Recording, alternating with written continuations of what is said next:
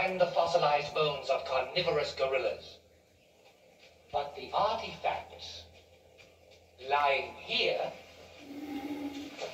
were found